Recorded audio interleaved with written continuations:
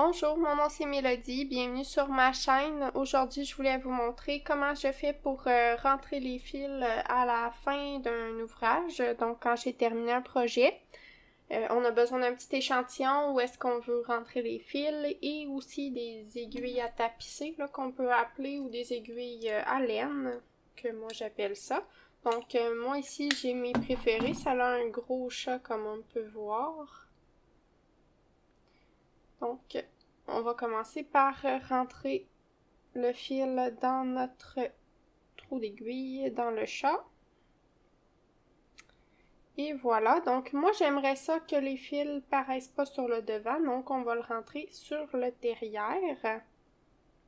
Donc pour ce faire, on va commencer par euh, rentrer ça sur le côté pour s'en aller au milieu du travail.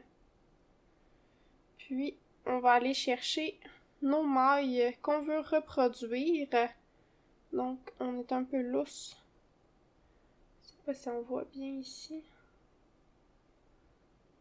On va rentrer ça dans notre maille. Et voilà. Fait qu'on va suivre la maille euh, dans laquelle on veut rentrer ça. Moi, ici, sont un petit peu lousses dans le bas. Donc, pour le, but de la vidéo, là, je les ferai pas sur les mailles du bas. Je vais aller les faire euh, plus haut. Donc, je vais juste faire glisser là, au travers euh, des mailles ici pour vous montrer un peu plus haut. Donc, si on voit bien la maille, comment qu'elle est faite. Donc, on va suivre la maille ici. On va suivre cette maille-là. Ensuite, elle passe par en dessous comme ça. Elle revient en haut. Elle va repasser ici en dessous. Elle revient en haut. Fait qu'on suit tout le temps le même fil. Donc, on va y aller comme ça. Donc, moi, je suis ressortie de cette maille-là ici. Donc, je vais suivre ça ici. Je dois m'en aller dans celle-là. Et je dois ensuite m'en aller dans celle-ci.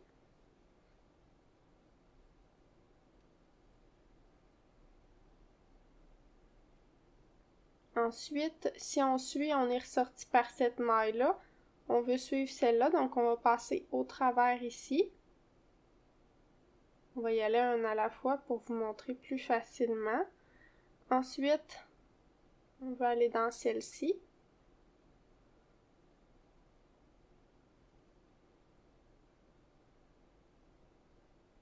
Voilà.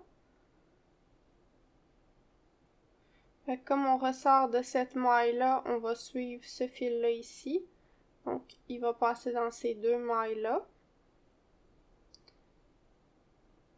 Comme ça.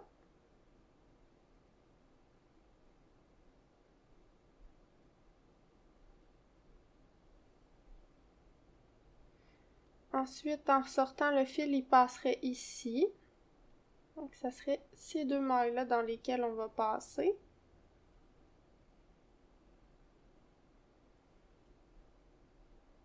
Puis en suivant ce fil-là ici, on voudrait passer dans cette maille-là et cette maille-là.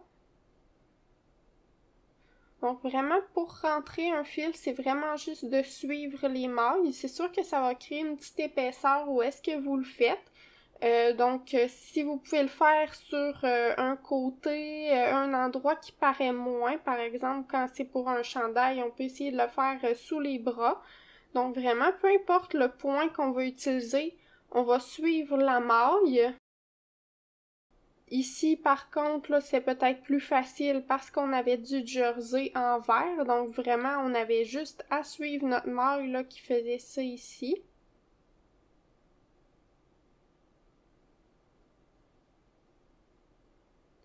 Fait que vraiment, c'est de suivre les mailles. Puis, à la fin, quand on a rentré assez notre fil, on va couper. Puis, on va bloquer notre projet. Donc, ça va laisser de l'expansion. Ou on peut couper le fil seulement après le blocage aussi. Comme ça, ça va permettre au fil de se placer, là, qu'il n'y ait pas de petite place où est-ce que ça sort. Donc, si on regarde à l'endroit, le rentrage de fil, il paraît pas du tout.